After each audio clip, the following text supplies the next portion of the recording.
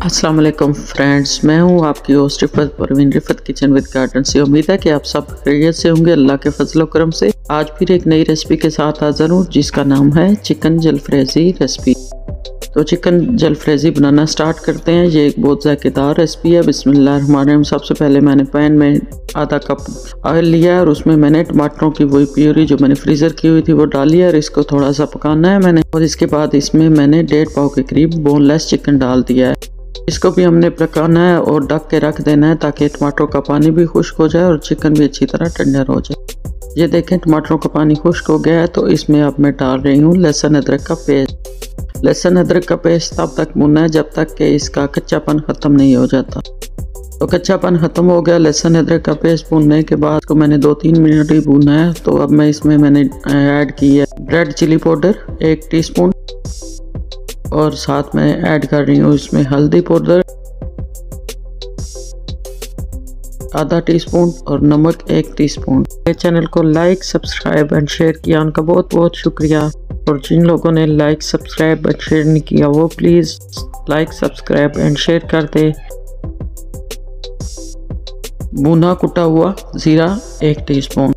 ये सारी चीज़ें मिक्स डाल के मैंने अब इनको भुना है दो तीन मिनट तक। मसालों का कच्चापन दूर हो जाए। ये बहुत जल्दी तैयार होने वाली रेस्टोरेंट स्टाइल रेसिपी है। बहुत जल्दी तैयार होती है। और मैंने अब एक टीस्पून डाला है इसमें चिली फ्लैक्स दरफल मिर्चें जिसको कहते हैं।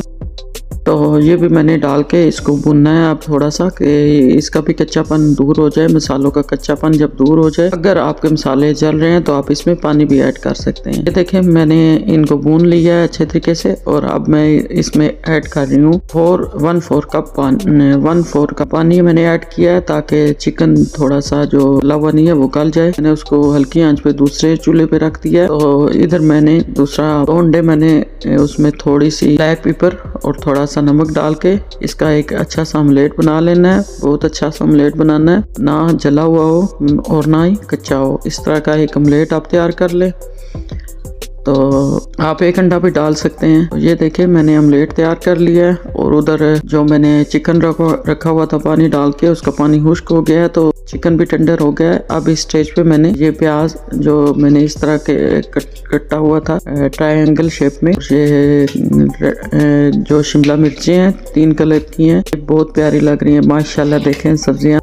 अपने गार्डन की हैं ये मेरी। सारी चीज़ें तो ये मैंने इसमें ऐड कर दी हैं ट्रायंगल शेप में कटी हुई सारी चीज़ें।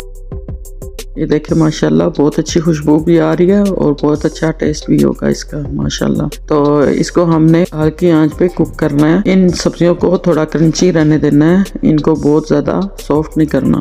तो ये देखें अब इसमें मैंने इसको एक मिनट ही पका के इसमें मैंने ऐड कर दिया दो टीस्पून कैचअप है, टमाटो कैचअप। टमाटो कैचअप से टेस्ट क्रीमी टेस्ट आता है।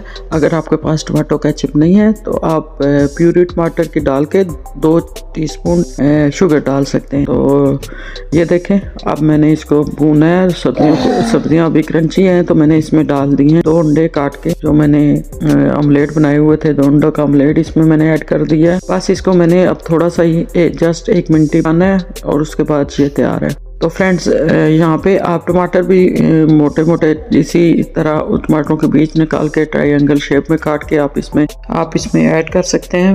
लेकिन मैंने बहुत ज़्यादा पहले ही टमाटर प्यूरी डाली है तो और टमाटर मैंने डालना ज़रूरी नहीं समझा। तो फ्रेंड आखिर ये देखें फाइनली बहुत अच्छी चिकन जलफ्रेजी बनकर तैयार हो चुकी है। तो अब हम इसको डिश आउट करते हैं। ये देखें, हम इसको डिश आउट कर रहे हैं साफ़ सुथरी प्लेट में और बहुत अच्छे तरीके से। ये देखें, माशाल्लाह, सब्ज़ियाँ अच्छी भी नहीं है और बहुत ज़्यादा सॉफ्ट भी नहीं है।